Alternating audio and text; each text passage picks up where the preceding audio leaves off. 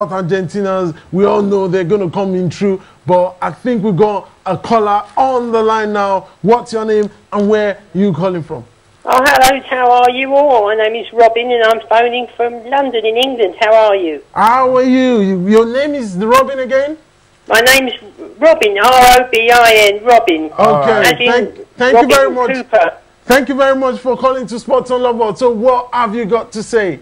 Um, well, uh, about uh, rugby, um, I wonder what you uh, uh, feel about the whole John Bickley affair. Okay. John, John, how John Bickley's playing at the moment. I okay. wonder what your feelings were about it.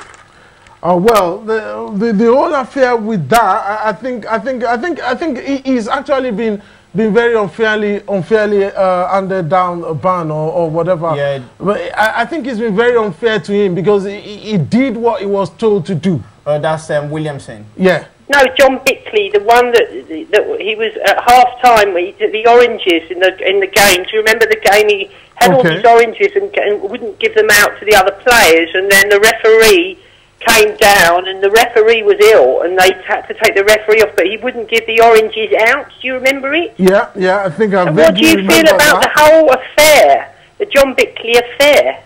Okay. What's your feelings about it? How are you? And what are the feelings that you both? It's a wonderful show, by the way. And what are your feelings about the whole? I suppose they call it Orange Gate with the oranges and John Bickley. Okay.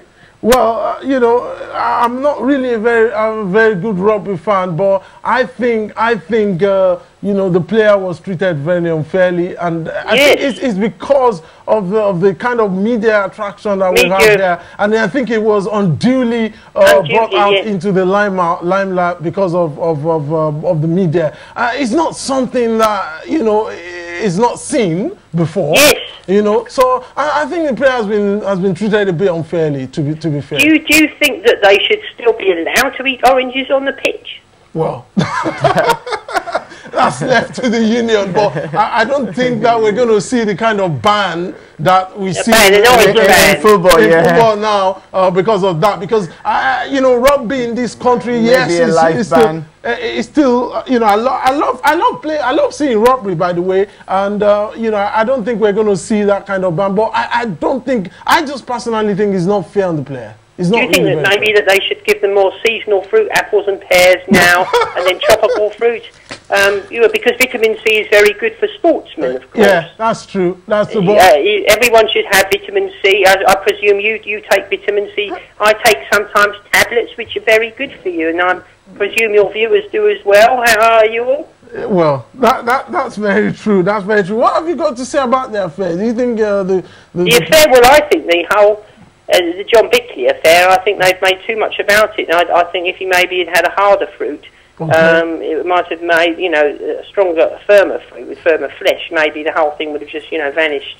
Okay. So, but what have you? But before you go off um, off off here, what have you got to say about uh, about the the the, the, the, the, the Harlequin one? Um, yeah, the blood um, bloodgate mm-hmm. issue. Is that yeah. the blood blood oranges? Uh, yes. the blood capsule.